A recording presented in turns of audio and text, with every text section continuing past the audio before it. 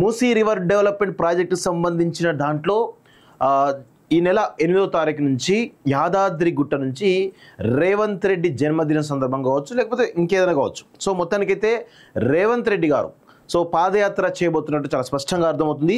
So ముఖ్యంగా నల్గొండ వరకు ఉన్నటువంటి ఎక్కడైతే Musi river development project Musi ఎక్కడైతే పారుతా ఉందో అక్కడ ప్రజలందరినీ కూడా తరలించే ప్రయత్నం రోజు రోజుకు చేస్తూ ఉన్నటువంటి విషయం మనం చూస్తూ ఉన్నాం. అక్కడ ఉన్నటువంటి ప్రజలకు పునరావాసం కల్పించి అంటే అక్కడ వాళ్ళకి డబుల్ బెడ్రూమ్ ఇల్లు ఇచ్చేసి వాళ్ళ మొత్తం కూడా తరలిస్తున్నట్టు చాలా స్పష్టంగా మనకైతే అర్థమవుతా ఉంది.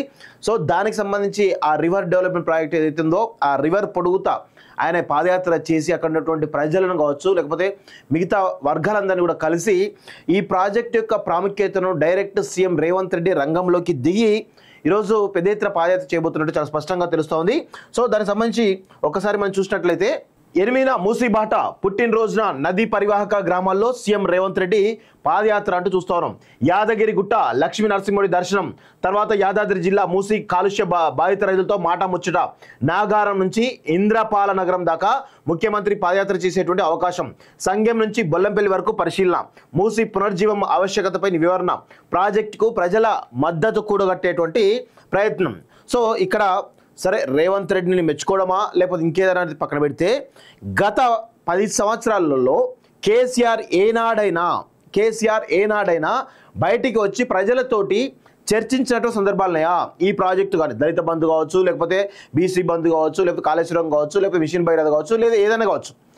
ఏనాడైనా ప్రజల్ని ఇన్వాల్వ్ చేసి మీ సమస్యలు ఇది ఈ మూసీ రివర్ డెవలప్మెంట్ కానీ ఇంకా సంథింగ్ ఏదైనా ప్రాజెక్టు తో తీసుకొస్తే ప్రజలకు జరిగేటువంటి లాభ నష్టాలు ఏంటి అనే దాంట్లో ప్రజలతో నేరి నేరుగా చర్చించిన సందర్భాలు గత పదేళ్ళలో ఒక్కసారైనా కానీ ఈ తెలంగాణ సమాజం చూసిందా అని నేను అడుగుతా ఉన్నాను సో మొదటిసారి ఒక ముఖ్యమంత్రి డైరెక్ట్గా ముఖ్యమంత్రి హోదాలో ఒక ప్రాజెక్ట్ కోసం పాదయాత్ర చేస్తూ అక్కడ ఉన్నటువంటి ఆ పరివాహక గ్రామాల వ్యక్తినో ఆ గ్రామాల ప్రజలతోటి ముచ్చటించేటువంటి ప్రయత్నం చేయడం వారికి ఏం జరుగుతుంది? అంటే ఈ ప్రాజెక్ట్ వల్ల మీకు వచ్చేటువంటి లాభాలేంటి? మీరు ఫేస్ చేయబడిన నష్టాలేంటి అనేటువంటి కోణంలో వారి నుంచి ఇన్పుట్స్ తీసుకొని ఒకవేళ లాభాలు జరిగితే ఓకే కానీ నష్టాలు జరిగితే ఏం చేయాలనే దాంట్లో దాంతో ఈరోజు డైరెక్ట్ సీఎం నేరుగా రంగంలో దిగి వాళ్ళ యొక్క సమస్యలు తెలుసుకునే ప్రయత్నం చేస్తూ ఉన్నటువంటి విషయాన్ని మనందరం కూడా గమనించాలి. సో ఇది చాలా పెద్ద మార్పుగా మనం అయితే గుర్తించాల్సిన అవసరం అయితే ఉంది మిత్రులారా. సో మూసీ నది పునర్జీవం విషయంలో ముందుకే వెళ్తామంటూ ఇటీవల స్పష్టం చేసిన సీఎం రేవంత్ రెడ్డి ఆ దిశగా ప్రత్యక్ష కార్యాచరణకు దిగుతున్నారు. మూసీ నది కాలుష్యం కారణంగా భువనగిరి జిల్లాలోని పరివాహక గ్రామాల ప్రజలు రైతులు ఎదుర్కొంటున్న ఇబ్బందులను రాష్ట్ర ప్రజల దృష్టికి తీసుకురానున్నారు. ఈ మేరకు బాధిత ప్రజలతో స్వయంగా మాట్లాడేందుకు ఆ ప్రాంతంలో పర్యటించినారు మూసీ పరివాహక ప్రాంతంలో పాదయాత్ర చేపట్టే యోచనలో ఉన్నారు. ఇందుకు తన పుట్టినరోజుని ముహూర్తంగా సీఎం ఎంచుకున్నారు.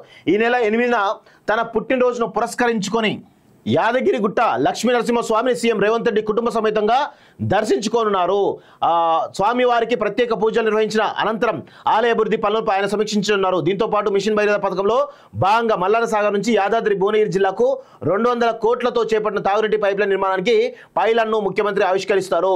మూసి కాలుష్య బావిలతో మాట ముచ్చట. ఇది అసలు అంటే గతంలో మల్లన్న సాగర్ సంబంధించిన ప్రాజెక్ట్ కట్టడం జరిగింది. ఏనాడైనా కానీ అక్కడ ఉన్నటువంటి మల్లన్న సాగర్లో ఉన్నటువంటి దాదాపు పద్నాలుగు నుంచి పదిహేను గ్రామాల ప్రజలతోటి కేసీఆర్ కానీ హరీష్ రావు కానీ నేరుగా ఎప్పుడైనా మాట్లాడిరా? వాళ్ళ కష్ట సుఖాలు తెలుసుకున్నారా? ఏనాడు కూడా తెలుసుకోలేదు. ఈరోజు ఒక ముఖ్యమంత్రి ఆ డైరెక్ట్గా మూసి బాధితులు అవుతున్నారు వాళ్ళ దగ్గరికి వెళ్ళి ఈరోజు వాళ్ళ బాధలు గత కొన్ని ఏళ్ళ నుంచి వాళ్ళు పడుతున్న బాధలు తెలుసుకునే ప్రయత్నం చేస్తున్నారు. దానికి సంబంధించినటువంటి సొల్యూషన్ ఏ విధంగా ఇవ్వబోతున్నా కూడా రేవంత్ రెడ్డి డైరెక్ట్గా వాళ్ళకి చెప్పేట ప్రయత్నం చేస్తూ ఉన్నారు.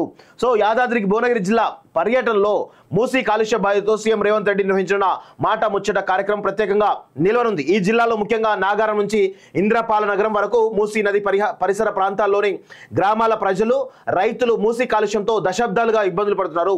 ఆరోగ్యం పంటల పరంగా తీవ్ర నష్టాలు ఎదుర్కొంటారు వీరితో పాటు సంగేం నుంచి బొల్లంపల్లి వరకు కూడా మూసీ నది పరి పరిసర ప్రాంతాల ప్రజలు రైతులు తీవ్ర ఇబ్బందులు ఎదుర్కొంటారు ఈ ప్రాంతాల్లో సీఎం రేవంత్ రెడ్డి పర్యటించి దశాబ్దాలుగా అక్కడి ప్రజలు ఎదుర్కొంటున్నటువంటి బాధలను అడిగి తెలుసుకున్నారు.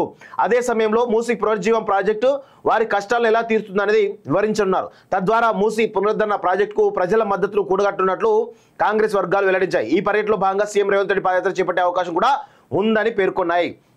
ఒకటి రెండు రోజులు ఖరారు. వాస్తవానికి మూసి కాలుష్యంతో ఉమ్మడి నల్గొండ జిల్లాలోని పరివాహక గ్రామాల ప్రజలు రైతులు పడుతున్న ఇబ్బందులను వెలులోకి తేవడానికి అక్టోబర్ ఇరవైన భువనగిరి ఎమ్మెల్యే ఖమ్మం అనిల్ కుమార్ రెడ్డి ప్రజా చైతన్య యాత్ర చేపట్టారు. ఈ క్రమంలో భువనగిరి పర్యటన వచ్చినప్పుడు మూసి కాలుష్య బాధితులు రైతులు ప్రజలు రైతులు కలవాల్సిందిగా సీఎం రేవంత్ ఎమ్మెల్యే కోరారు. దీంతో తన పుట్టినరోజు సందర్భంగా యాదాద్రికి వస్తున్నటువంటి నేపథ్యంలో అనిల్ కుమార్ రెడ్డి కోరిక మేరకు బాధితులను కలవాలని సీఎం నిర్ణయించారు. అయితే నాగారం నుంచి ఇంద్రపాల్ నగరం మధ్యలోని గ్రామాల ప్రజలతో ఈ కార్యక్రమం ఏర్పాటు చేయాలా? లేక సంఘం నుంచి బొల్లెంపల్లి వరకు పాదయాత్ర చేపట్టాలా అన్న దానిపై ఇంకా నిర్ణయానికి రాలేదు. ఏది ఎంచుకున్నా ఆరు ఏడు కిలోమీటర్ల మేర పాదయాత్ర నిర్వహించాల్సి ఉంటుంది. ఈ మేరకు పాదయాత్ర చేసేందుకు సీఎం ఆసక్తి చూపుతున్నట్లు తెలుస్తుంది. సీఎం యాత్ర ఎక్కడ చేపట్టాలనేది నిర్ణయించేందుకు జిల్లా కాంగ్రెస్ నేతలు మంగళ లేదా బుధవారం భేటీ కానున్నారని ఒకటి రెండు రోజుల్లో దీనిపై స్పష్టత వస్తుందని పార్టీ వర్గాలు తెలిపాయి. ఇదిలా ఉండగా యాదాద్రి జిల్లాలో సీఎం పర్యటన నేపథ్యంలో జిల్లా కలెక్టర్ హనుమంతరావు అదనపు కలెక్టర్ వీరారెడ్డి వీళ్ళందరూ కూడా మొత్తానికైతే దానికి సంబంధించినటువంటి ప్రయత్నాలు చేస్తున్నట్టు ఆ, కార్యక్రమం సంబంధించినటువంటి ఒక సీరియస్ సమీక్షలు చేస్తున్నట్టు తెలుస్తూ ఉంది. సో ఇక్కడ మూసీ రివర్ డెవలప్మెంట్ ప్రాజెక్ట్ అనేది అందరూ కూడా గుర్తుపెట్టుకోవాల్సిన ఏంటంటే ఈ హైదరాబాద్ నగరాన్ని కావచ్చు లేకపోతే హైదరాబాద్ మహానగరాన్ని గత కొన్ని దశాబ్దాలుగా పట్టి పీడిస్తున్నటువంటి ఈ మూసి ఏదైతే కంపు ఉందో దాన్ని ప్రక్షాళన చేసేందుకు ఈ రాష్ట్ర ప్రభుత్వం ఒక నడుం బిగించిన విషయం వాస్తవం.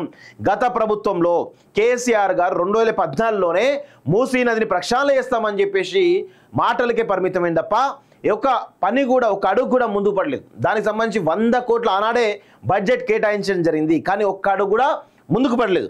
కానీ దాని పేరు మీద మూసీ రివర్ డెవలప్మెంట్ ప్రాజెక్ట్ అని చెప్పేసి కార్పొరేషన్ చెప్పేసి ఏవో డ్రామాలు ఆడింది తప్ప ఒక్క అడుగంటే ఒక్క అడుగు కూడా ముందుకు పడలేదు. సో ఈ రాష్ట్ర ప్రభుత్వం సీఎం రేవంత్ రెడ్డి నాయకత్వంలో మూసీ నదిని మొత్తంగా ప్రక్షాళన చేసి ఈరోజు అక్కడ మూసి పరివాహక ప్రాంతంలో నివసిస్తున్నటువంటి ప్రజలకు ఎవరైతే పేద ప్రజలు ఎవరైతే ఉన్నారో వాళ్ళందరికీ కూడా పునరావాసం కల్పించి డబుల్ బెడ్రూమ్లు ఏవైతే ఉన్నాయో వాటిల్లోకి తరలించడం జరుగుతూ ఉంది. సో ఇంకా కొద్ది రోజుల్లోనే ఆ ప్రాజెక్ట్ సంబంధించిన డిపిఆర్ ప్రిపేర్ కాబోతుంది. ఏ ఎంత సమయం పట్టొచ్చు? దానికి ఎంత బడ్జెట్ ఉండొచ్చు? ఏ ఎట్లా దాన్ని ఒకటేసారి టేకప్ చేయాలా?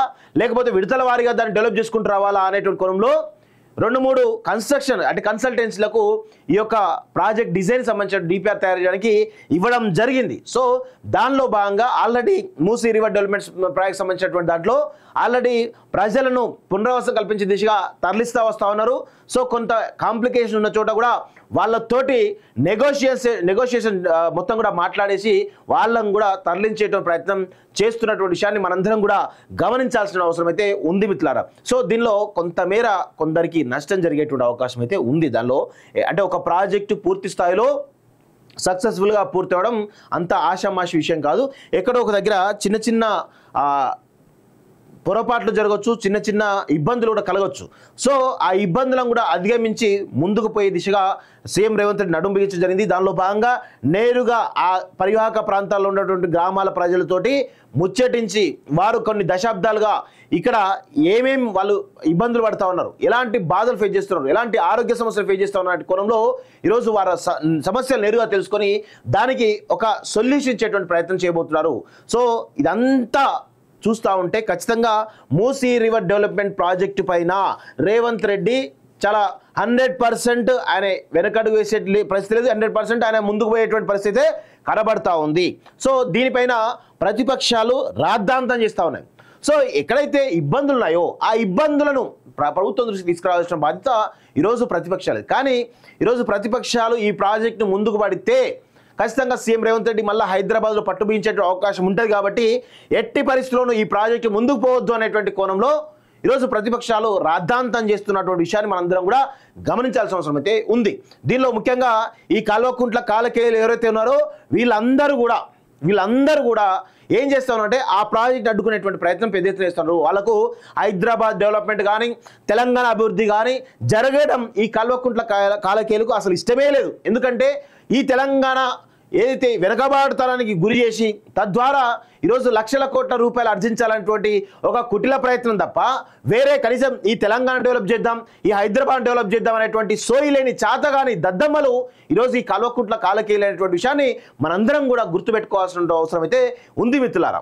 సో అందుకే ఈ యొక్క పాదయాత్రను నేనైతే మనస్ఫూర్తిగా స్వాగతిస్తున్నాను. సో ఎవరు ఏమైనప్పటికీ కూడా ఎందుకంటే డైరెక్ట్ నేరుగా ఒక ఒక పాలకుడు నేరుగా ప్రజల దగ్గరికి వెళ్తా ఉన్నాడు. గత పదేళ్ళలో ఏనాడైనా కానీ కేటీఆర్ కానీ కేసీఆర్ కానీ హరీష్ రావు కానీ ప్రజలతోటి కలిసిమెలిసి ఆ ప్రజల బాధలు తెలుసుకున్నటువంటి దాఖలాలు ఉన్నాయా లేవా అనేటువంటి విషయంలో ఒక్కసారి మీరందరూ కూడా ఆలోచించాల్సిన అవసరం ఉందని చెప్పేసి కూడా ఈరోజు కాలోజీ తరపున నేను కోరుతా ఉన్నాను. ఇదేదో నేను రేవంత్ రెడ్డి మద్దతు తెలుపుతున్నట్టు లేకపోతే కాంగ్రెస్ పార్టీ మద్దతు తెలుపుతున్నట్టు కాదు. ఇది పాలకుడు ఖచ్చితంగా ప్రజల వద్దనే ఉండాలి ప్రజలతోటే ఉండాలి. అలాంటి పరిస్థితి ఉన్నప్పుడే సమస్యలు అనేవి అర్థమవుతూ ఉంటాయి. కానీ ఎప్పుడైతే పాలకుడు ప్రజలకు దూరంగా ఉంటాడో ఖచ్చితంగా పొరపాట్లు జరుగుతూ ఉంటాయి. ప్రజల వ్యతిరేక నిర్ణయాలను తీసుకోవాల్సిన అవసరం ఆ పాలకుడికి ఉంటుంది. కానీ ప్రజలతో నేరుగా మాట్లాడేవాడు ప్రజా వ్యతిరేకంగా మా నిర్ణయాలు తీసుకోవడం అనేటువంటి విషయాన్ని మనందరం కూడా గుర్తుపెట్టుకోవాల్సిన అవసరం అయితే ఉంది మిత్రులారా.